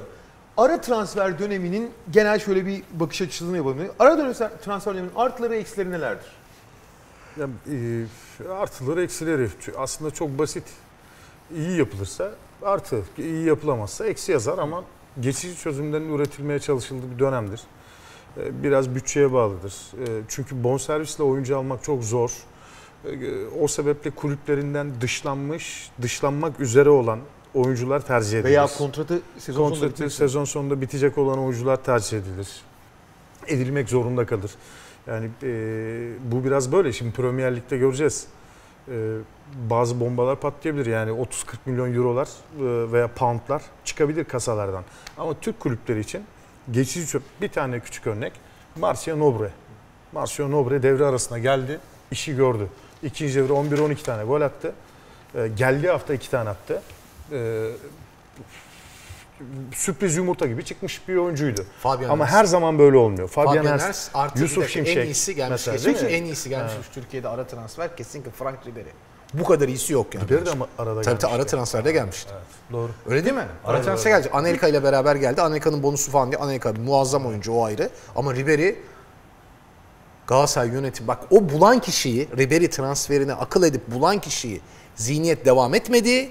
Ribery'i bedava kaçıran zihniyet devam ettiği için Ama Galatasaray'da bu borç ortaya çıkmıştır. Ama Kafadan abi- 25 milyonluk oyuncu oldu ya Marsilya'da Ribery, Bayern'de. Ribery hani ara transferi geç ekstrem bir örnek çünkü Ribery Ama demek ki bulabiliyorsun. erken yaşta Türkiye'ye er- erken yaşta Türkiye'ye gelmiş en büyük yetenekler arasındadır yani. muhtemelen. Les Ferdinand'dan sonra evet. Les Ferdinand daha da erken geldi ya o yüzden 18 hayır. yaşında. Acaba bedava mı gitti? Onlar Böyle de hep kafama en. Bedava gitti, evet. En iyisi Acaba. Ben en iyisi Ben pek ihtimal vermiyorum da Ben böyle bir Marsilya hata. başkanıyla konuştum. Böyle o bir zaman hatanın yapılacağına Diouf ihtimal dedi ki bana, vermiyorum. Pape Diouf dedi ki Ali Bey bizim büyük borcumuz vardı. Ben bu işte bedava kaçmasına neden olan yöneticinin küçük heykelini yaptırmak istiyorum Velodrom stadına. Marsilya'yı ekonomik düşüşten kurtaran adam diye. Ben Hakikaten ihtim- ciddi ben söylüyorum. vermiyorum. başkan. Marcel Dözey'in eski menajeri. Neyse sonuç itibariyle o en iyisi olmayabilir ama en iyilerden biri olduğu kesin. Ara transfer olması önemli. Ama yani e, ara transferin şöyle bir şey de yok mu? Mesela takım sezon boyunca oynuyor. Gerçekten bir pozisyon aksıyor ya da bir pozisyonda sakatlık problemi oluyor. Başka bir sürü şey olabiliyor. Bir tane böyle nokta atış, bütçe büyük olur küçük olur önemli değil. Bir anda takımı gerçekten çok önemli bir şey yapabilir mi? Yani katkı verebilir mi? Ya çok büyük etkileyeceğini ben düşünmüyorum. Ancak tabii ki yama olarak düşünürsek kulüplere faydaları hocalarım da Ali abinin de söylediği gibi Uyum süreci olan olur? Yani devre arasında gelen oyuncu zaten oynamaya gelecektir. Hani kendi kulübünde kendi kulübünde çok iyi oynuyor da buraya zaten gelmez. Oynamaya geleceği için o isteği gösterecektir. O yüzden uyum sürecinin çok e, kısa olacağını düşünüyorum ben arada gelen oyuncularla alakalı. İşte Ryan Babel de bence bunu göreceğiz. Zaten Türkiye tecrübesi de olan bir oyuncu. E, o yüzden uyum sürecinin çok e, uzun süreceğini düşünmüyorum. Fayda sağlayacak oyuncular kesinlikle çıkacaktır ama yapılanmayla alakalı çok uzun soluklu transferler bence devre arasında olmaz. Bence de bak mesela şunu düşünüyorum. Luis Suarez ile Andy Carroll aynı gün transfer edildi. Biri Luis Suarez, biri Andy Carroll. Ee, Çünkü Fernando Torres bir- Chelsea'ye gitti. Bak Ya- yakın o işte hocanın dediği iş paraşütsüz düşüş var ya. Yani Torres'in Chelsea'ye gittikten sonraki paraşütsüz, ayağına taşlar, kayalar takılmış öyle bir düşüş. o biraz tırmandı ama sonra. Nereye?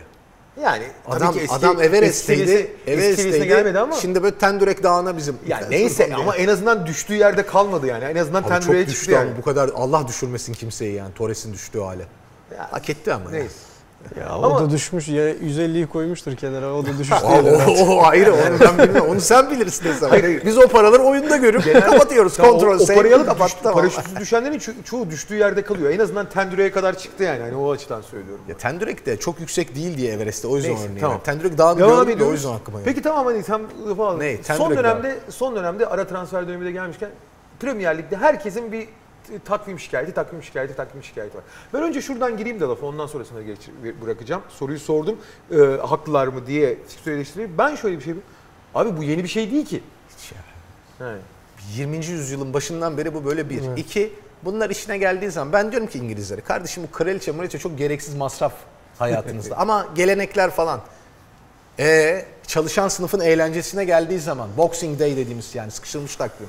Onlar da bütün sene çalışıyor. Futbolcular da da teknik açıdan çalışan sınıftan görüyorlar ama diyorlar ki siz normal çalışan sınıfa göre 100 katı para alıyorsunuz. O zaman 100 kat sizden az para alan sınıfı en büyük eğlencesi futbol çalışan sınıfın İngiltere'de eğlendireceksiniz kardeşim diye.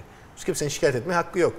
Yani ben bunu hiç anlamıyorum mesela. Şey varken kraliçenin bilmem ne günü. O dünyanın parasını harcıyorsun saçmalık. Ülkedeki sağlık sorunlarını çözersin. Evsiz insan kalmaz o parayla. Bunu söylüyorum ama Ali'cim bizim geleneklerimiz, e, bu da geleneğiniz ve bu geleneğinizi ben çok seviyorum. Türkiye Ligi'nde maç çok, Almanya'da maç çok, Fransa'da maç çok. Aç her gün Premier Lig. Bir de Liverpool Lovren'i oynatmasa daha eğlenceli. Bir de Arsenal de düzelse biraz daha eğlenceli olacak. Güzel sıkıştırılmış takvimler. Şeyi soruyorum. Düzeldi dün akşam. Bu 3-0'dan fikstür 3-3 eleştirileri geldi. için ne diyorsun? Eleştiriler için ne diyorsun? Haksız, saçmalık. Bilmiyor musunuz hep böyle bu yani. Aynen. Her futbol daha hızlı oynanıyor. George Best'in dönemine göre. Futbol daha hızlı oynanıyor Gascoigne'in dönemine göre. Daha yorucu ama ona göre de kadrolar daha geniş. Eskiden unutmayalım bir yedek vardı. Fairclough tek yedeğiydi ben ilk izlediğim zaman Liverpool'un. Tek bir oyuncu koyuyordu. Sonra işte iki oldu, üç oldu. Şimdi 7 tane oyuncuyu yedek kulübesine yazabiliyorsun. Artı rotasyon da yapıyorsun. Bir de kadrolar eskiden topu topu 14-15 kişiydi kadrolar İngiltere'de. Kenny Dalglish, Graham Souness oynarken. İşte Brian Robson'ın ilk oynadığı yıllar. E şimdi 40 oyuncu yazabiliyorsun yani. Biraz da şey galiba teknik direktörler özellikle e, hani seviyorlar bahane de, ya, bahane mi hakikaten diyeceğim ya. yoksa biraz e, sorumluluğun bir kısmını oraya atmak mı ol- için mi kullanıyorlar? Ne diyorsunuz hocam? Fikstür çok yoğun bu arada hani kabul etmek lazım. Burası yüzde yüz. Ben de katılıyorum ee, Ali'ye şu bakımdan. Şikayetçiler var ama memnun olanlar da var. Memnun olanlar Premier Ligi izleyenler. O sebeple orada müşteri daima haklıdır Ee, perspektifiyle de e, İngilizler aksiyon alırlar. Bunu hepimiz gayet iyi biliyoruz. Müşteri odaklıdır. Premier Ligi müşterilerine bakarlar. Çok güzel Eğer e, şey yapan, e, şikayet eden Jose Mourinho değilse e, bence hiç dert etmeyelim. Çünkü ben şunu gayet iyi hatırlıyorum. Jose Mourinho İtalya'dayken ya kimse bana yorgunluktan şikayet etmesin. Yorgunluk e, madende çalışıp Sabah Ee, 6'da yola çıkıp sabah, 9'da evet. eve gelip askeri ücret alanlar içindir. ve evine ekmek getirebilmek için çalışan Baskı maden işçisi, bas, baskı baskı, yorgunluk. baskıda yorgunlukta onlar şikayet etsin. Sakın şikayet etmeyin biz de etmeyelim demişti. Birçok defa e, Çok şeyde- demagojik bir laf o ya. Nasıl? Çok, Çok kesinlikle. demagojik yani. İşte o yüzden söylüyorum. Eğer Niye o ya? şikayet etmiyorsa yorgunluktan e, bence dert etmemek gerekiyor. Çünkü Ben e, katılıyorum. bu yıllardır. Genelde böyle, Mourinho'ya pek 100 yıldır böyle, ama O böyle devam ediyor. katılıyorum. Abi- Öyle değil abi ya. Hiç Yani alakası o yok. kadar Abi bak Ay, şimdi sektör- ben eskiden böyle gazetede Ben ben de sana- yardımcısıydım. Özelinde parayla ay sonunu böyle. getiremiyordum. Sabah 7'de Başka 8'de ülkede kalkıp değil. işe İngiltere'de böyle. Abi, çok kötü etkiliyordu. sektöre- Şimdi hiç etkilemiyor. Falan. Pardon. Sen maden işçisinden o, o yorgunluktan sonra 100 metreyi 11 saniyede koşmasını istemiyorsun ama. Şimdi Ama Bak, ertesi gün ben tekrar kimsenin- sabah 6'da kimsenin- gelmesini istiyoruz. Şimdi, zor kimsenin, dinle dinle. Kimsenin eforunu en üst düzeyde de en alt düzeyde de ekonomik olarak söylüyorum yadırgamıyorum. Fakat bu ikisini birbiriyle kıyaslarsan olmaz abi. Abi biri sevdiği Bu, işi buna yapıyor, demagoji. öbürü sevmediği işi yapıyor. Aradaki en büyük fark o. Abicim aradaki en büyük fark performansın istenen miktarı performans yapabilme kapasitesiyle alakalı. O zaman da ben sana şöyle söyleyeyim. Ee, Tarkan Seni, seni, seni bugün çok böyle Donald Trump gördüm be abi. Abi Donald Trump'la ne alakası var aldığı parayla onun aldığı para bir mi Kaan? Tabii ki değil. Ama bu ikisini kıyaslarsan olmaz abi verdikleri eforu. O zaman da abi Tarkan da atıyorum Iron Maiden'da o konserine o parayı almasın. Olur mu öyle şey ya? Ne alakası var? Ala- onu tabii ki alakası var Bir abi. dakika, Iron Maiden konserinde eşyaları taşıyan adamı söylüyorum. Ben. Aynen eyvallah. Tamam. Tam Iron Maiden'ın solisti. Rudy'yi söylüyorum. Tamam Iron Maiden'ın solisti tabii ki oradaki e, hoparlörü kuran adamla aynı parayı almayacak. Ya da arkadaki gitaristten bile, ya söyle adını, arkadaki da vokalisten bile daha fazla. bir fark Ama var. şimdi Iron Maiden bu turneleri şöyle yapılıyor. bu demagojidir abicim. Hayır abi Iron Maiden turneleri şöyle yapılıyor. 15 gün çalıyorsun. İşte Amerika turnesi, 15 gün çalıyorsun İngiltere Neyse. turnesi. Bütün sezon yatıyorsun. Abi en güzel müzisyenlik ben kendimden biliyorum. Tamam, ya. benim- Keşke Iron Maiden'da bas Abi ben çalsam ya. farklı bir şey söylemiyorum Nereye ki. ama ya? Bu ikisini kıyaslamak kesinlikle büyük haksızlık yapar o insana. Ben de Sen, Ben de. Kaan'la aynı fikirdeyim. Ben. Yani o kıyas doğru kıyas ben, değil. ben, Doğru kıyas ben değil bütün, abi. şöyle ben bütün gün fitness çalışıyor olabilirim. Uğur bir maç yaptıktan sonra kimse benden ondan sonra 100 metre 111 saniyede koşmamı istemiyor ama Uğur'dan istiyor abi. O yüzden Uğur'a atıyorum 1 milyon euro bana 10 euro veriliyor. Abi şimdi Bu madenci kadar basit. de fabrikada tekstil işçisini koyalım abi. Bütün gün aynı son ütü devamlı aynı şeyi yapıyorsun. Makineleşiyorsun. Futbolcu olduğun zaman en azından bu makineleşmiyorsun.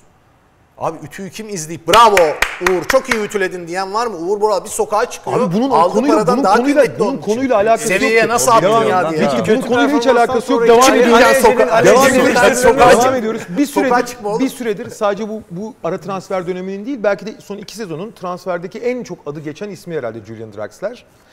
Ee, Paris Saint Germain sence Julian Draxler için iyi karar mı? Ben iyi karar olduğunu düşünüyorum açıkçası. Çünkü yeteneklerini sergileyebileceği bir lig orası. Yani İngiltere Ligi'nde bence bu derece etki etmezdi. Peki Julian Draxler bu bir buçuk sene kadar önce böyle hani süper süper yıldız adayken peki oraları karşılayamadı mı? Ne düşünüyorsun? Ya ben ilk çıktığı günü bile hatırlıyorum Draxler'in ve ağzım açık kalmıştı açıkçası. Yani bir 18 yaşında bir oyuncu çıkartıyor adamlar. Her şeyi tas tamam. Yani Türkiye'de mesela bize 10 yaşındaki çocuklara yıldız dediler. Ondan sonra bir daha bir maç oynamadan nerede olduğunu bilmiyoruz Muhammed. demişler. Beşiktaş'ta. Ya neyse abi. Draxler'i gördüm. Fizik tamam. Sürat tamam. Top çabukluk tekniği. çabukluk tamam. Oyun zekası tamam. Oyun bilgisi tamam. Top tekniği, tekniği tamam. müthiş. Golcü var, golcülük var mı? Var. Yani bir adam bir tane oyuncu çıkartıyor ve her şeyi tas tamam. Yani şöyle kalmıştım yani nasıl olur böyle bir şey diye. Ondan sonra dediğin gibi çok fazla bir sıçrama gerçekleştir, gerçekleştiremedi ikinci senesinden sonra. İlk, ilk ve ikinci senesi çok iyi oynadı sonra çıkamadı. Zaten bu e, Paris Saint Germain transferinin de artık bir şekilde bir farklılık aradığını düşünüyorum ben. E, ben İspanya Ligi'nde Draxler'in daha etkili olabileceğini düşünüyordum. Ancak Fransa Ligi de Paris Saint Germain takımının da diğer takımlara olan üstünlüğünü ele alırsak o ligin de bence Draxler'e iyi artı yazacağını ben açıkçası düşünüyorum. Hocam? Ee, benzer düşüncelere sahibiz ama ben o e, Julian Draxler'in hem kendi kariyerini planlarken artık kim planlıyor onu bilemiyorum. E, menajeri mi, ailesi mi yoksa kendisi mi? Pardon şurada araya girebilir miyim?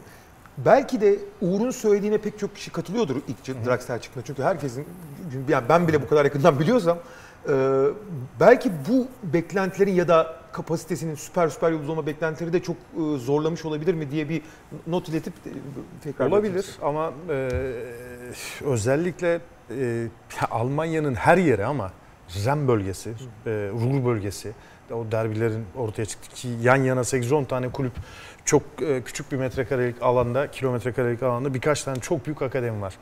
O akademilerde bu, bu, bu konuda hazırlık yapıyor oyuncular. Oyunculara işte yıldız olmayı yönetmek, alkışı yönetmek, parayı yönetmek, şöhreti yönetmek konusunda e, hayat dersleri veriliyor, hazırlıyorlar. Ben o konuda çok büyük sıkıntısı olduğunu düşünmüyorum ama ben şeye katılmıyorum Uğur'a.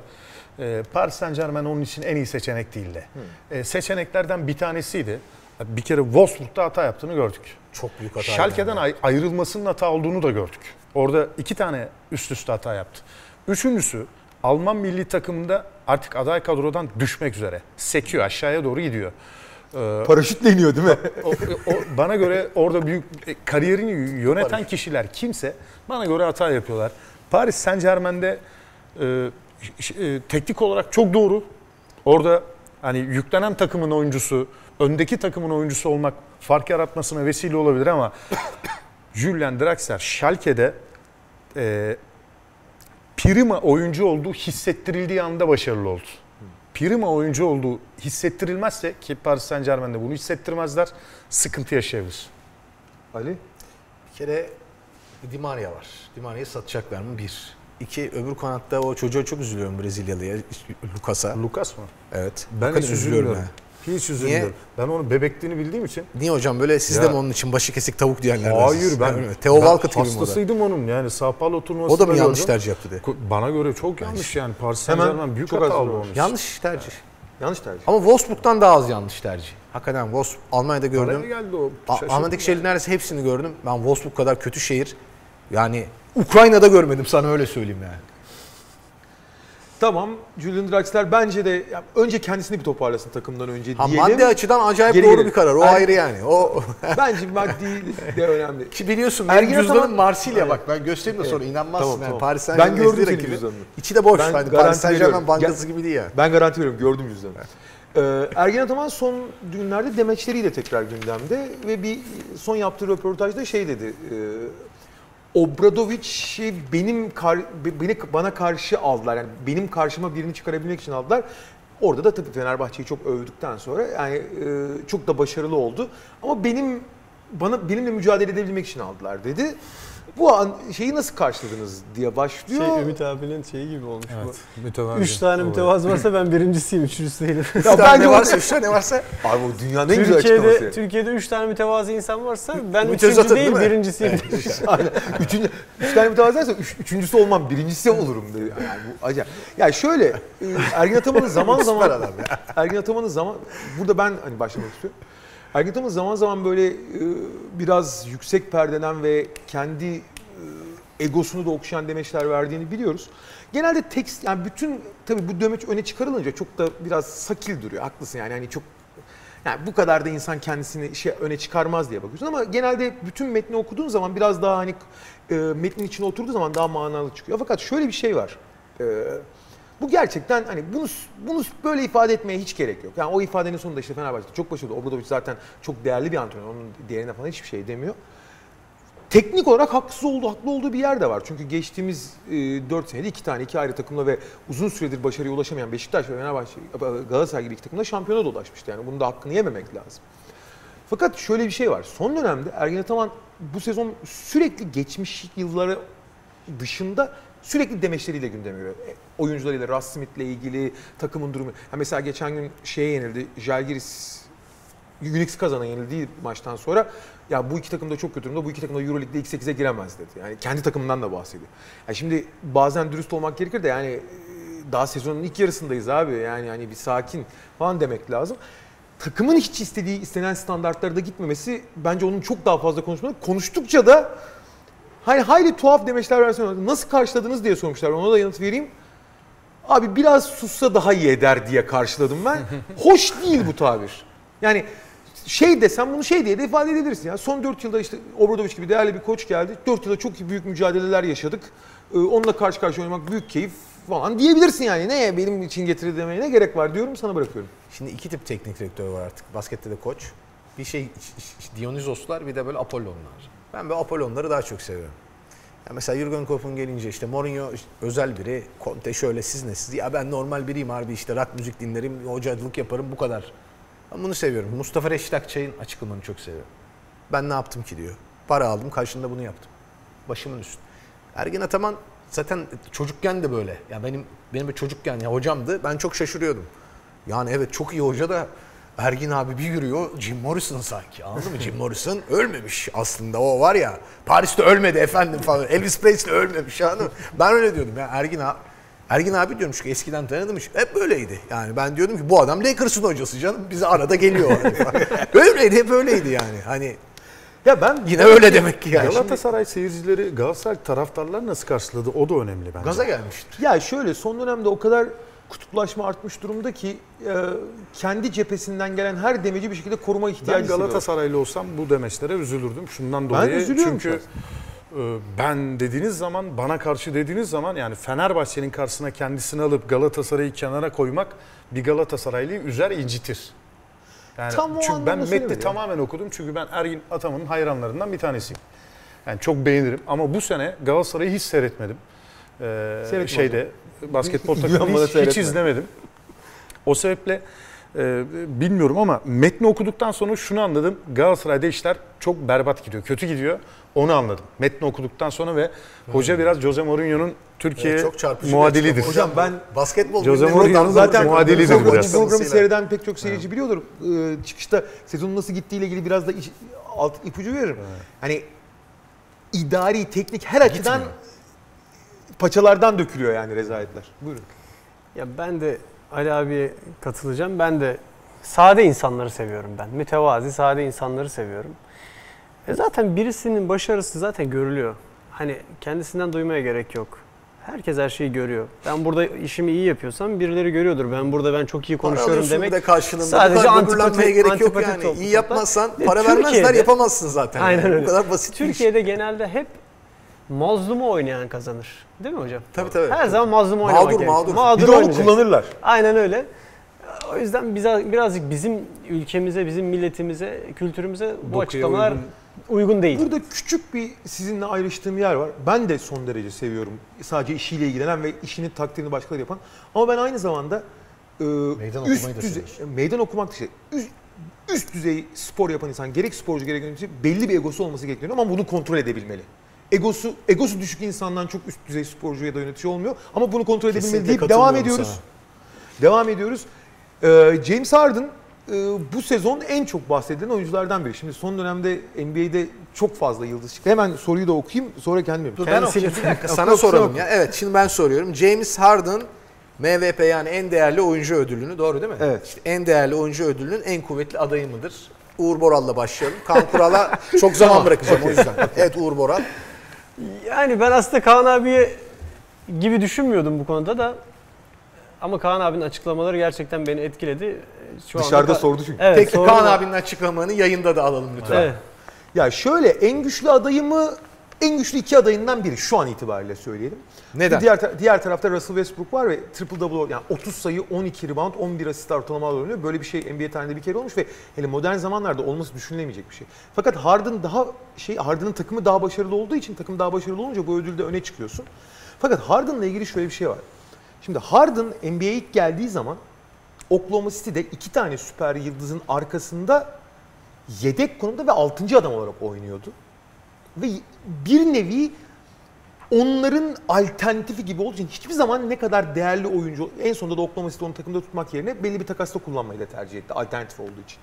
Ve hiçbir zaman belki de hak ettiği kadar üst seviyeye çıkmamıştı. Hele şu anda LeBron James'ler, Kevin Durant'ler, işte Anthony Davis'ler falan böyle oynarken hep Harden biraz tamam süper yıldız ama onların seviyesinde mi soru işaretleri vardı. Şimdi bu sene öyle büyük bir değişim oldu ki Mike D'Antoni yani yüksek tempolu bu son dönemde tüm dünyanın kabul ettiği en verimli basketbol olarak düşünülen alan paylaşımı ve tempolu basketbol, pace and space diyorlar. Alan paylaşımı ve tempo temelli basketbolda bu işin yaratı, yaratıcısı demeyeyim de modern zamanlardaki en iyi uygulayıcısıydı Mike D'Antoni. 2000'lerdeki Suns'la birlikte. Houston'ın başına geldiği zaman ideal ortamı buldu. James Harden da bütün özel yeteneklerini çünkü James Harden olağanüstü bir skorer ama aynı zamanda çok iyi de bir pasör. Ve takımı çok iyi yani hücum alanında muazzam kontrol edebiliyor. Onun istediği ideal sistem, ideal oyuncuyla birleştiği anda bu seneki rakamlar çıktı. Rakamları şöyle özetleyeyim istersen sana. Çok yakından takip etmiyor olabileceğin için söylüyorum. NBA sayı krallığında dördüncü sırada şu anda Harden. Tüm NBA'de. asist krallığında ki Harden zamanlarda. Hayır şu anda bu Şu an, sezon bu sezon ortalamalarda söylüyorum. Yani bu sezonun gol krallığında dördüncü gibi düşün sen. Anladım canım bu Eyvallah. kadar. Biz bu Estağfurullah. işte Ergin Ataman hocamız da Allah Allah. Estağfurullah. Sen Estağfurullah. anlat baba çok güzel anlatıyorsun. Pardon. Ee, ve ki bu zamana kadar oyun kurucu oynamamış bir olmasına, oyuncu olmasına rağmen asist kralı şu anda ligin. Ve takımı Houston geçtiğimiz yıldan çok çok çok daha başarılı. Herhangi çok kapsamlı bir değişiklik olmamasına rağmen. Ve geçtiğimiz günlerde bunu buraya aldık. Çünkü geçtiğimiz günlerde inanılmaz bir şey yaptı. Bir maçta 53 sayı, 16 rebound, 17 asist yaptı. Sonra iki Aynı maç maçta. üst üste daha triple double yaptı. Evet iki maç üst üste. Hocam siz de ama dakika, 53 çok- 53 çok- 16 çok- çok- hemen 17'nin döneceğim, eşi yok NBA'de. Hocam Benim adamım Hocam bir saniye, bir saniye. Bu kadar Brezilya Ligi, Arjantin Ligi, Türkiye Ligi, Almanya'yı izleyip yorumlarken ne ara basketbol izliyorsunuz? Ne zaman uyuyorsunuz? Ya ben, Yine eskisi gibi hiç uyumuyor ben musunuz? futbol pek seyretmem. Ben pek Doğru hiç izlemiyorsunuz. Aslında biraz evvel hocam, Allah aşkına ben Kaan'ı tanıyorum. Sao Paulo biraz evvel şey Hayır, pardon. eski, San Lorenzo'nun eski bekini dönemlerden. Hayır, eski dönemlerden. Sao Paulo Türkiye'de diyor abi adam yayınlıyor hocam. izlemişsin Gidip hocam. izliyorsunuz. Değil bu kadar Ben, ben televizyon seyretmem. Ben televizyonda sadece maç seyrederim. Yani şey e, basketbol veya futbol maçı seyrederim. James Harden de şöyle ilk daha yeni çıkıyor. Ben ilk defa görüyorum. Yanımda bir tane arkadaşım var. İşte e, şey e, Uğur tanıyor kendisini. Ama ismini vermeyeyim. Bir, bir, kulüpte görev yapıyor. Der, der, derde sokmayayım çocuğun başına. Ben kim olduğunu anladım. Ee, Söylemeyeceğim ama. Şey yapıp e, ya bu sakallı kim dedim ya böyle sakallı basketbolcu ilk defa. O Hırvat bir tane şey vardı. Pivot. Divac. Utah. Divac. Di- Divac. İşte arada bir Stockton falan bırakıyordu böyle kirli mirli. Ben ilk defa böyle görüyorum. Ya bu kim falan. Ya dedi bu acayip oyuncu şöyle böyle. Sonra ben takibi aldım. Olimpiyat Dream Team'de de oynadı. Oynadı. Dream Team 6 7 8 kaça geldi bilmiyorum da sayı. Ben hastasıyımdır yani. Muazzam. Bu Peki sene bir Peki, dakika, bir dakika benim daha ekliyorum eski izninizle. eski Moderatör olarak yani. bir dakika daha ekliyorum. Moderatör. Son olarak bir dakika daha sevgili Kaan'cığım. Süper. Evet. Senin böyle yani işte özel hayranın NBA izleyici seni bulmuşken Evet, bu işte elektronik müziği iş klaf verken konu- konuşmak gibi bir şey seninle NBA konuşmak. bir dakika daha ekledik. Peki Evet. James Harden'a verilmezse neden verilmez? Neden verilmez? Takımı eğer bu seviyelerde tutamaz yani takım en iyi 5 takım arasına falan giremezse takım başarısını da çok önemsiyor. Matt Letitia gibi mi olur? Southampton'daki Letitia. Olabilir. Süperdi ama olabilir. takımın seviyesi düşük. Olabilir. Yani O zaman. takım mesela o 30 takım içinde ilk 6'da ilk 7'de olmazsa genelde vermeyi tercih etmiyorlar. O zaman işte ibreler biraz daha LeBron'a, Durant'e doğru kayıyor. Ki onlar da iyi sezon geçiriyor ama abi 53 16 17 nedir ya? Hakikaten o çok acayip 53 16. Şöyle saniye daha ekle bir soru sorayım ben. Buyurun bir de hocam, şunu söyleyeyim. O maçta 17 asist yapıyor ya. Ben 17 bana fotoğrafını asistin- göstersen 17 bilemem asistin yani. İşte Ama 8'i şeyi bildim. Şey, Dinle bak. En En azından bir maçı bildim yani. arada. 17 İlk asist, sakallı basketbolcu. 17 asistin bu arada süreyi tekrar Olsun, 17 olsun. asistin 8'i üçlük olduğu için 53 atıyor. O e, 42 de attırıyor. 95 sayıya sebep oluyor. 95 Houston sayıya. tarihindeki e- en iyi 5 oyuncudan bir tanesi midir? Houston tarihindeki. Birkaç sene daha oynasın ondan sonra.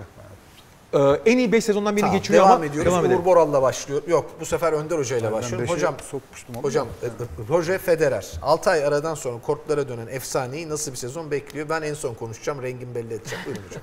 Valla şimdi şeyin e, belgeselini seyrettim bizim TV Spor'da e, Djokovic'in.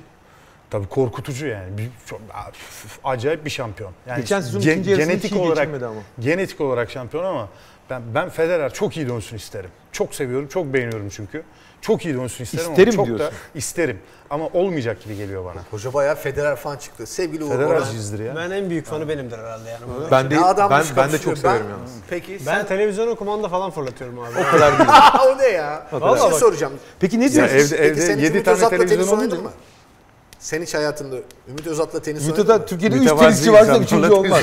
Hakikaten çok iyi oynuyor. İnanması güç ama gerçek. Peki ne, nasıl, nasıl Türkiye- döneceğini düşünüyorsun? Türkiye'de 3 tane iyi tenisçi varsa Ümit abi üçüncü Birincisi değil mi? birincisi Peki. değil.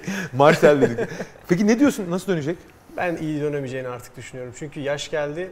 Çünkü bırak... Hele tenis için korkunç bir yaş değil evet mi ya, ya? inanılmaz bir yaş. Tabii ki çok çok üst düzey bir yetenek. oynadı uzun yıllar. Bu arada Çok bugün, bugün üst maçı, Federer bugün oynuyor. maçı var. Abi şu andaki atletlerle o bir Aa, bir dakika şimdi. McEnroe'nun işi daha zordu. O tartışmaya hiç girmeyelim. Dün bu ara bu arada ş- şey dün Dolopogov'u yendi ilk maçta ki Dolopogov çok iyi bir tenisçi. Bugün ama e, son dönemin Ukraynalıyı. Ukra- e, Zverev var. Çok çok başarılı, çok büyük çıkıştı. Ona yenildi bugün iki ta- yani 3 2 birlik tie break'te. E, ben de aynı söyleyeyim sana bırakacağım en son sözü. Ya şöyle e, genelde bazen şey tartışmalar oluyor. Süper süper oyuncular hani hep en iyi hatırlayalım, en iyi zamanlarında bıraksınlar diye. Ben de her zaman onu şöyle söylerim. Abicim o en iyi zamanları zaten yaşadılar. Onu hiçbir zaman unutmayacağız ki. Ha seviyesi çok düşmüş oldu. Atıyorum Roger Federer dünya Ben sana 57.si katılıyorum. olsa. Ryan Giggs gibi yapsın hepsi abi. Oynayabilir, Dünya oynasın, 57.si ne olsa, yani? dünya 157.si olsa Ne kadar olacak, ne oynasın. eksilecek? Bunu kesinlikle diyeceğiz. Federer'in 2000-2010 arası yaptıklarını hiçbir zaman zedelemez bunlar zaten. Jordan Diyorum yaptığı iş ama iş yapacak ki tabii ki yani. ben eskisi gibi olmasını hatta bundan sonra bir Grand Slam'de şampiyonluğu bırak hani yarı ya bir tane olmasını tabii ki çok insan istiyor ama Bir tane. ben olabi- olabileceğini düşünmüyorum ama onu sahada görmek bile her zaman büyük keyif olacak deyip o hali bakalım Mükemmel bir diyecek. tenisçi. Ben adamla futbol hakkında röportaj yaptım. İşte Ali Ece akıl hastalığı da bu. Federer hiç tenisle ilgili bir şey sormadı. Futbolu çok seviyor. Evet, Uğur bazen. tenisi sevdiği gibi futbolu Bazen seviyor. taraftar. Yalnız ben Andy Murray'i tutuyorum ya. Ve buradan söz Tut abi, veriyorum TV? Spor ekranlarından. İskoç olduğu için. Tabii canım. Britanya bir dakika, bir dakika, bir dakika, bir dakika. Bir dakika. Neden? İskoçya'daki bağımsızlık referandumunda delikanlı gibi çıkıp ben bağımsızlığa oy vereceğim. İskoçya bağımsız olsun dediği günden itibaren tekrar tenis izlemeye başladım. Ben en son McEnroe, Navratilova falan izlemiştim ve burada TV Spor ekranında söz veriyorum. Üst üste 3 tane daha Grand Slam kazanırsa canlı yayında gayda getirip çalacağım sizlere. Andy Murray'in dünyanın bir Etek falan Kıyafetleri de giymem. giy- Hayır, kıyafetler. ben Ben Türk evladıyım. Ne alakası. Gayda derken biz bir dakika. Britanyalıları biliyorsun Son bir şey falan diye bir şey yok. Andy Murray'in Murray dünyanın bir numarasına Tek çıktığını biliyorsun değil mi? Biliyorum tabii. Bilmez yok, olur. Havamdan geçilmiyor. Tamam. Yalnız gayda çalacağım derken zaten bizim de Karadeniz tulumunu Tamam, getirip çalacağım bugünlük- hocam. İskoçya'dan gayda mı alacağım? William Bugünlük bu kadar diyelim. TV Spor seyircilerine de çok teşekkür edelim tekrar. Bir dahaki programda görüşmek üzere.